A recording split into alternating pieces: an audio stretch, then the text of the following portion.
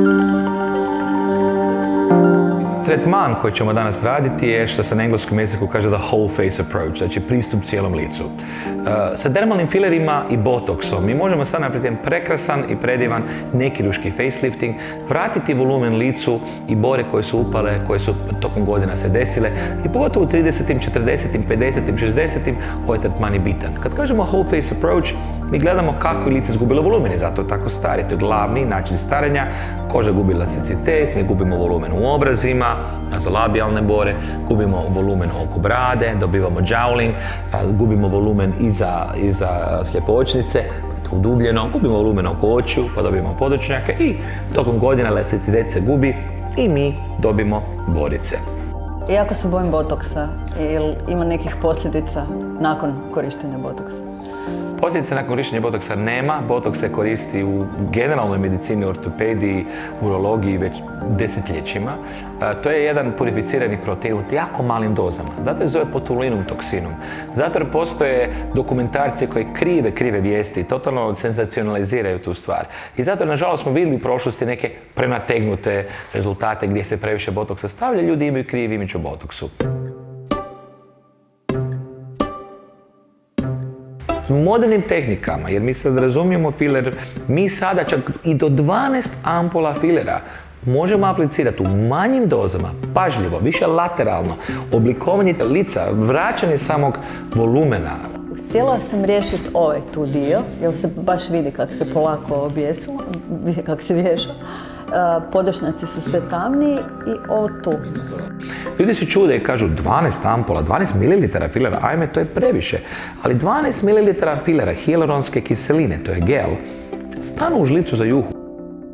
Evo nas četiri tjedna nakon uh, inicijalnog tretmana kod naše pacijentice, gdje smo radili četiri ampule filera na gornjem dijelu lica, na jagodicama, na, na podočnjacima, na regiju oko očiju.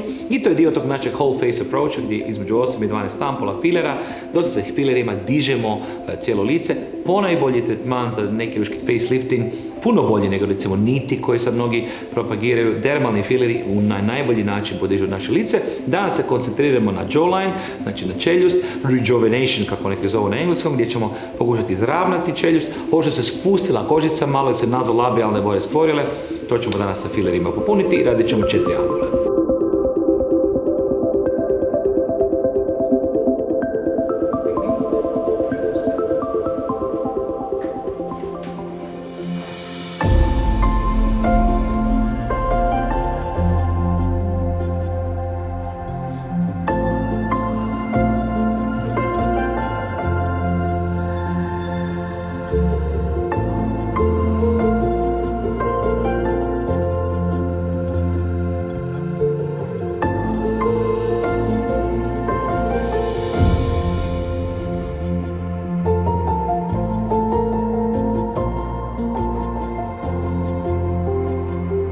Evo ga, sad nakon deset tjedana, nakon što smo prvi put našli sa Lejlom i radili smo whole face approach, uh, uh, Mauricio de Mayo, plastični kirurg koji je prvi osmislio da se sve više stavlja filera. Uh, Lela je primjer gdje smo napravili 12 ampola u 3 sessionsa, 4 ampole filera i zadnji put smo malo dodali, kao final touch smo malo dodali baby botoxa. I ono što mi Lela rekla ranije, Znači 12 ampula i botox u zadnjih 10 tjedana, ona koja je imala baby face, sve izgleda, ko baby face nema više onog umornog izgleda i svi su prijatelji rekli, zapravo ne kuži, jer ona radila nešto, ali nije, a toliko smo puno materijala i to mi je vic.